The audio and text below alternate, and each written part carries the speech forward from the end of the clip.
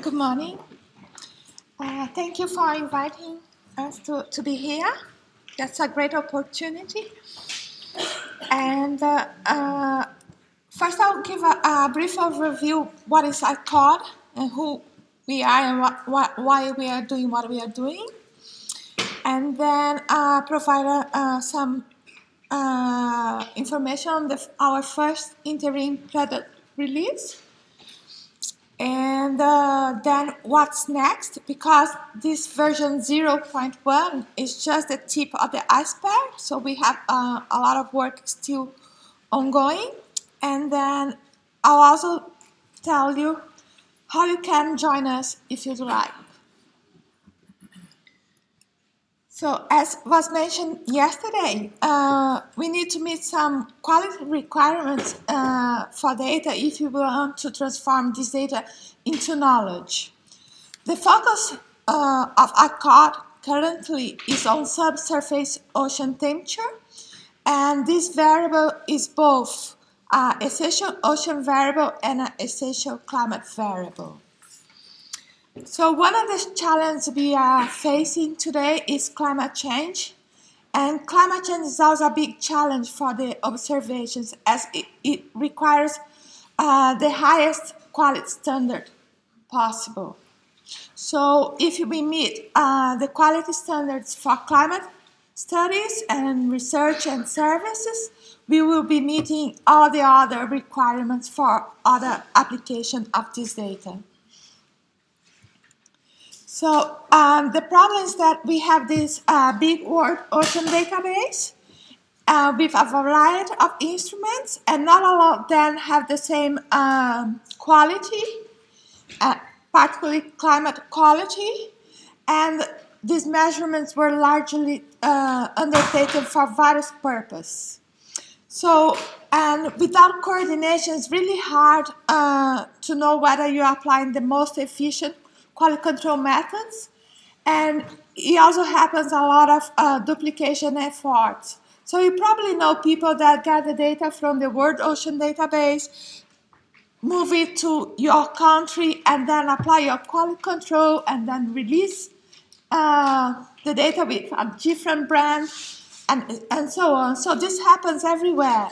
So we, we, we decide to get together, all these uh, different groups and, and try to join forces to provide uh, the best quality and consistent, consistent and complete uh, world ocean database possible. And this includes uh, inclusion of uh, intelligent metadata, I'll explain shortly, and uncertainties. And we can only do this through truly international coordination and focusing all the resources and expertise into a single best practice community effort.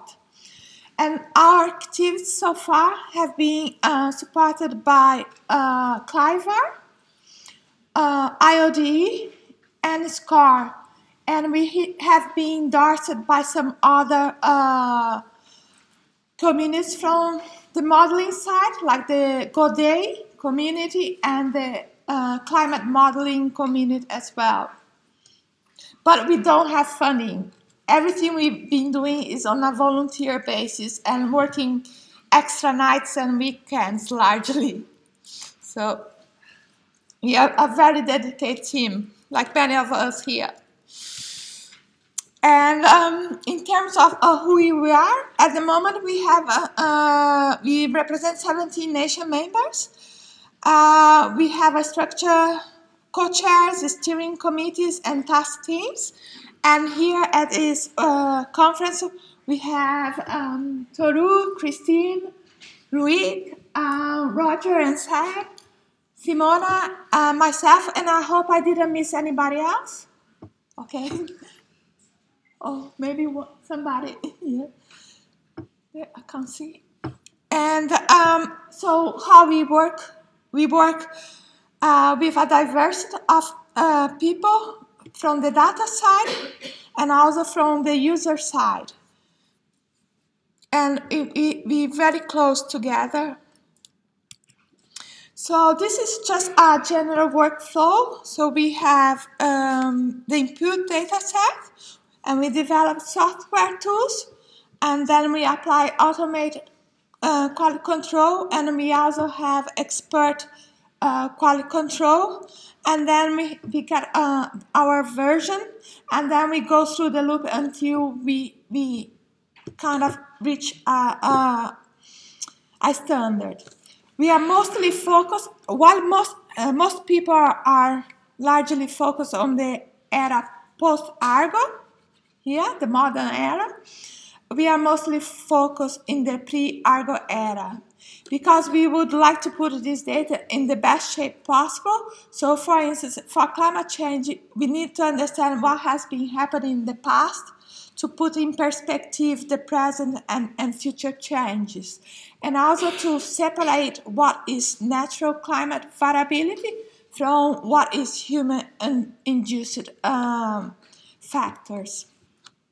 So, and we need to work out uh, a lot in this part of the the historical era.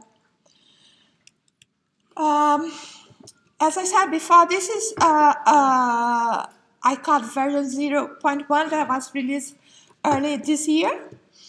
Uh, it's just the tip of the iceberg from what we are doing. And it only includes, we haven't touched the data per se at the moment. We only have added flags. And these flags are, are for the intelligent metadata, uh, for uncertainty, mostly random errors.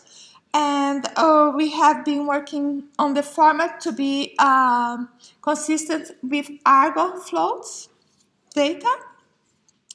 And at the moment, the data has been released at uh, the US NCEI, but uh, we are working to have it released in different, in other websites as well, as you see here.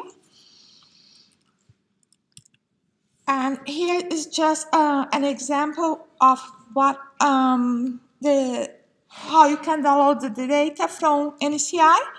So in this page you have the documentation tab and you can uh, get information of all the details we have done to the data uh, flags. And then here's how to cite the data and other information. And in terms of downloading the data, you have uh, some options here, uh, THREDDS, um, HTTP download, and also FTP. And then, then uh, the format is netcdf4, regular array. And if you go to the credit tab, you see there is a lot of people that have worked to get just this uh, first interim product available. So um, now is the more exciting part that uh, the work we are go, go, being done uh, that's being done to release uh, a new version where we are going actually to start uh, having coordinate quality control applied. So in terms of format, at the moment we are uh, improving this. This is uh, some of the minor changes we are applying already. And, and this is uh, being done because we got feedback from the data assimilation community. So anybody that uses the data and would like to give us feedback to improve in certain aspects, you are very welcome. Uh, for the duplicates, uh, we have flagged the exact duplicates and we would like to implement Guillaume Maze's um, algorithm, is a machine learning algorithm to, to make uh, the detection uh, more uh, efficient. And the intelligent metadata, uh, we are moving from a deterministic approach to a probabilistic approach and also using neural, networks. And we are tackling initially the instruments that are related to XBT measurements. And in terms of uncertainty, with all this information on the iMetadata uh, refine, we can also refine the uncertainty errors. So what is the, the iMetadata? A large fraction of the historical data set uh, comes from an instrument called XBT, and this they are subject to bias. And when they were uh, put in the global database, many of them uh, lack uh, metadata. And as you can see, all these red um, patterns here uh, denotes that uh, where we have XBT profiles, but we don't have the metadata. So why is important to understand the, the metadata? Because we need to correct bias uh, from the XBTs and that can affect uh, climate uh, studies. So, and what is the approach we are taking to, to tackle this big problem? So Matt Palmer uh, built on, on what Beck Cowley has uh, done to, to figure out um, how can we add a bit more information for the missing metadata. So, and the approach is mostly on an exclusion basis. So they, they work out which XBTs, XBT types, there are several types, and depending on these three, uh, they, they can work out which XBTs that uh, profile cannot be from. And so reduces the, the chance of uh, assigning uh, a bias correction to a different XBT type that is not uh, available at the time.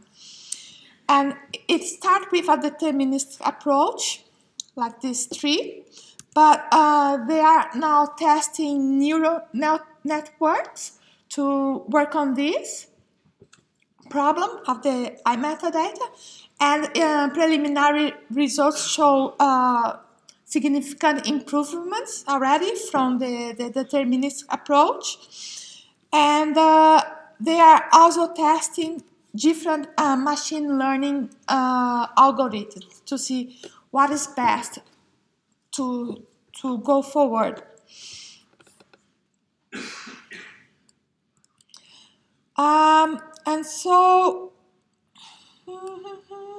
and then uh, they can also generate like a probabilistic approach uh, uh, and to, to, to, to get the, a range of uh, possibilities rather than saying yes or no.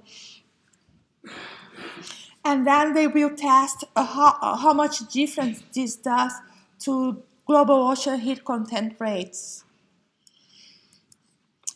In terms of the AutoQC, uh, they have the, uh, Simon Good and Bill Mills have developed a framework, and they have gathered about 55 different AutoQC tests so far. So if you have uh, automated quality control methods and you'd like to have it benchmarked with everybody else, please uh, contact us as well, and we can can can help and investigate that, and also we'll provide us feedback on how we can um, make AutoQC more efficient. So here um, are some preliminary results. So all these panels around the, the, the big panel are from different uh, AutoQC from different groups and how they tag uh, a reference data set. So uh, you can see there are differences and now Simon and Bill are kind of developing um, the um, flagging system and the best approach because I think overall I, am I'm, I'm not I'm a oceanographer. I don't I'm not much sure I don't have deep knowledge of the, the QC but the overall idea of this is to get the, the QC sets that uh, perform best in terms of um, picking up all the good data but not picking up uh, bad data or not flagging good data as bad. So optimizing all the AutoQC tests. And they still have further work to do.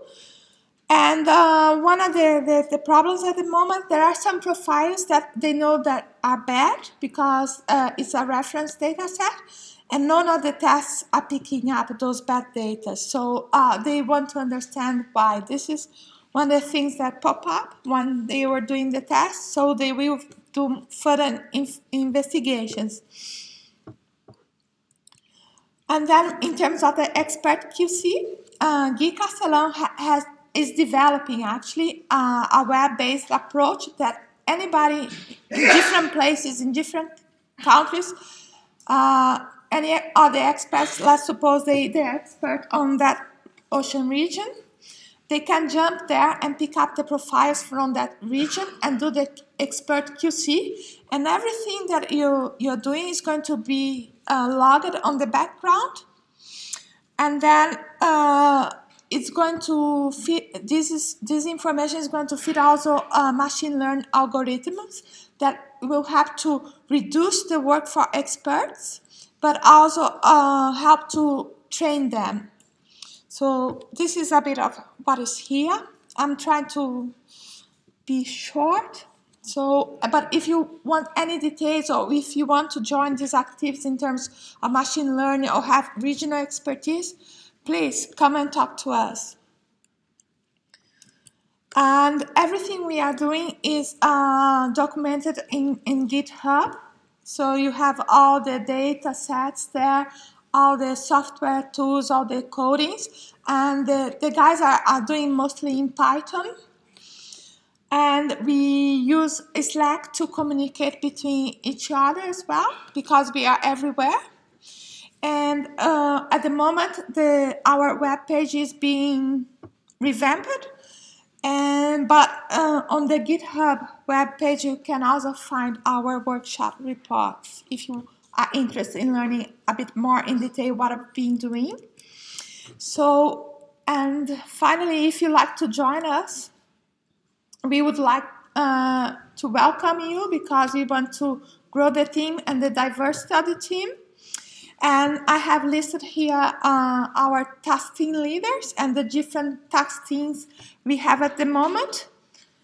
And you can contact us by email and you can contribute to this effort uh, in many different ways. Uh, and I have listed some other the ways you can uh, contribute, particularly by using the data and giving us feedback and spreading the word about IQuOD. Uh, and as you can see, we still have a lot of uh, ground to cover. And I guess most of you must be around Europe, so uh, we have a gap there. And it would be great to, to, to gather more people from Europe as well. And so thank you.